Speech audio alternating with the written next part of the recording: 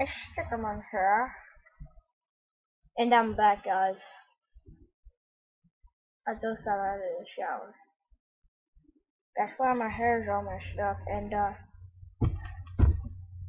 yeah, I'm actually back. I thought I just had to quit for a few days. Because, uh, I ran out of ideas. Oh, yeah, uh, so, everyone put this in the comments. Who's ready for the lunar eclipse this August?